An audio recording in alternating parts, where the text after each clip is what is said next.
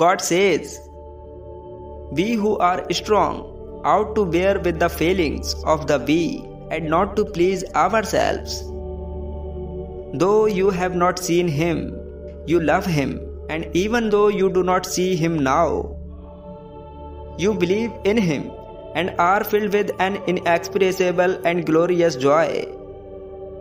For you are receiving the end result of your faith, the salvation of your souls.